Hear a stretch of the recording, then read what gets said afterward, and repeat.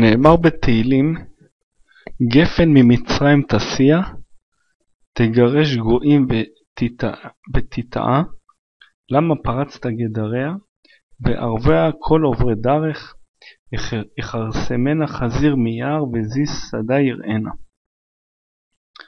יכרסמנה חזיר מיער זו רומי, כך כתוב בילקוט שמעוני.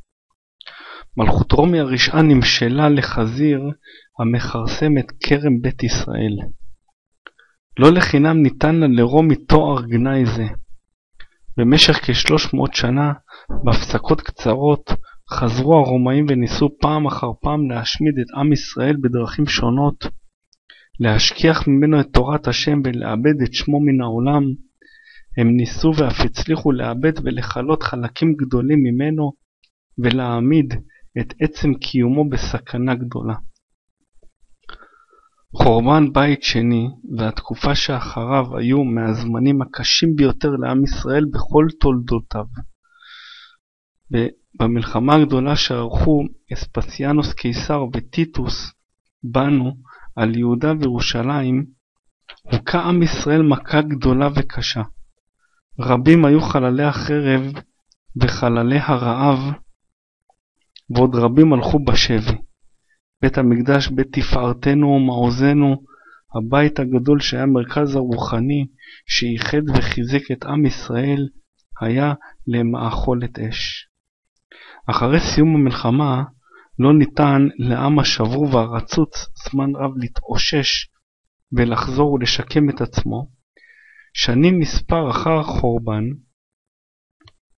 בימי הקיסר דיומציוציוס, אחיו של טיטוס הרשע, ריחפה סכנה גדולה על כל היהודים כאשר מלך רשע זה הוציא פקודה, כהמן בשעתו, להשמיד ולהרוג את כל היהודים בתחומי ממשלתו. ורק בדרך נס בטלה גזירתו, כמסופר במדרש. מעשה שהיו רבותינו ברומי, רבי אלעזר ורבי יהושע ורבן גמליאל, וגזרו סקנליטין של מלך לומר, מכאן ועד שלושים יום לא יהיה בכל העולם יהודי. והיה סקניתו של מלך ירא שמיים. בא אצל רבן גמליאל וגילה לו את הדבר, והיו רבותינו מצטערים הרבה. אמר להם אותו ירא שמיים, אל תצטערו. מכאן ועד שלושים יום, אלוקיהם של היהודים עומד להם. אמרה לו אשתו, אין לך טבעת, מוץ אותה ומות. וסקניטון ביטל עליך שלושים יום והגזרה עוברת. שמע לה ומת. שנים מספר אחר כך, בימי טרינוס קיסר, שוב התחדשו הרדיפות והגזרות, והפעם הן הקיפו את כל תפוצות ישראל.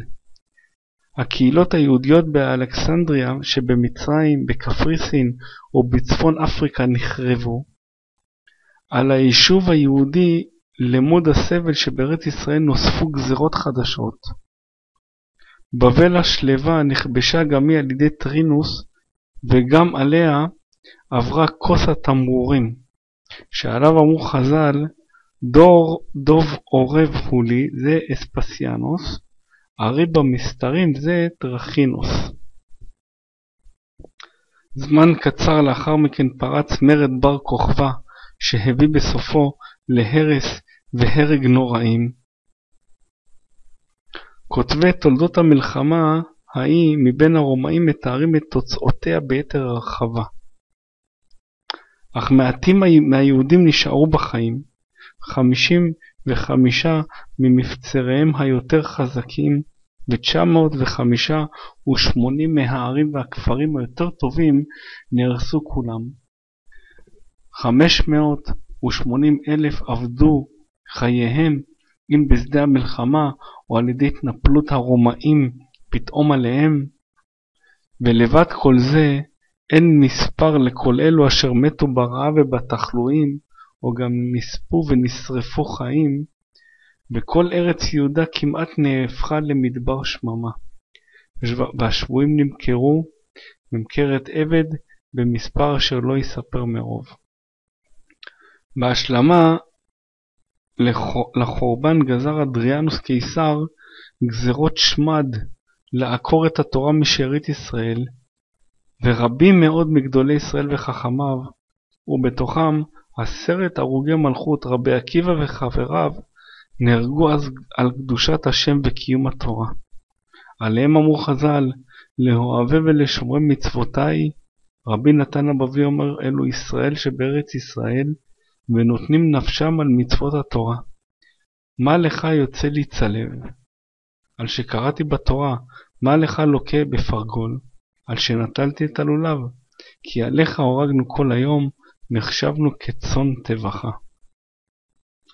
מי יכול היה לומר שעם ישראל יחזיק מעמד בתקופה כה נוראה וקשה, ושלמרות שאבד בית המקדש, המרכז הרוחני שאיחד את העם, והמכות הגדולות שספג, ואבדת חלקים גדולים וטובים מהאומה, הוא ימשיך להתקיים ולהחזיק בתורה במסירות נפש. רק אלוקי ישראל, שהבטיח לעמו שיחזיק מעמד בכל הזמנים ובכל התנאים, הוא ששמר עליו, ונתן לו את הכוח לעמוד נגד כל הקמים עליו להכרית את גופו ואת רוחו. מותו של אדריאנוס קיסר הביא רק להפסקה זמנית ברדיפות הרומאים, מלבד המלחמות הרבות שעברו על הארץ. וגררו אחריהן הרס וחורבן, החלה שרשרת חדשה של גזרות שמד שהגיעו לשיאן על ידי משנה הקיסר גלוס ושר צבאו אורמיצינוס. יהודים רבים נהרגו אז באכזריות רבה וביניהם רבים מחכמי התורה ולומדיה. הגליל שהיה בזמן ההוא מרכז היישוב ומקום מושב הישיבות נחרב גם הוא ובזה הושלם חורבן ארץ ישראל כולה. אחרי מאות שנים של רדיפות וגזרות עלה בידי הרומאים לבצע את אשר זממו לעשות, להחריב ולהרוס את עם ישראל בארץ ישראל, מהיישוב היהודי הגדול, ש... שמנה מיליונים רבים בימי בית שני, נשאר רק יישוב קטן ודל. מהישיבות הגדולות שהיוו את המרכז הרוחני לעם ישראל, נשארו רק שרידים מעטים. ולבסוף, בימי הרקיליוס, קיסר שהיה הקיסר הרומאי האחרון ששלט בארץ ישראל, גורשו והושמדו גם אותם יהודים מעטים שעדיין נותרו בארץ, וארץ ישראל התרוקנה כמעט לגמרי מתושביה היהודים. ברוך ה' לעולם, אמן ואמן.